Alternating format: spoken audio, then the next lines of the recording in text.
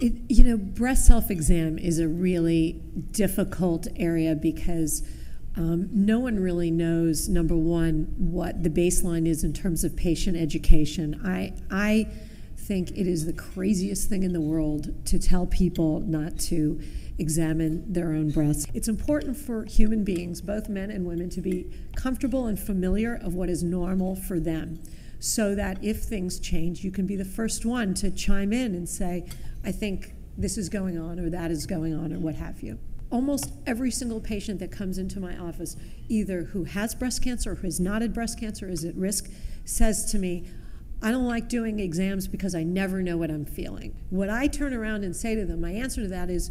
yes, you may be lumpy and bumpy, but those are your normal lumps and bumps, which you have to become familiar with, so that if you examine yourself once a month, you know, in the shower, whatever is comfortable for you, there is a much higher likelihood that if you develop something new, you will identify that against the background of what's normal for you. And tell them, take a piece of paper, draw a map, draw a face of the clock, say, I feel this thing at one o'clock and this thing at three o'clock, and that's sort of your map of normalcy for you. And I just don't see that there's any downside that can come of that. Sure, women may present to their doctors more often saying, I think I feel this, I think I feel that. But there's really, just like, again, it's like saying, don't look at the moles on your skin and worry about melanoma. These are, these are, you know, basic things that we can do to protect ourselves and to give us the highest likelihood that if something is identified, it's picked up early.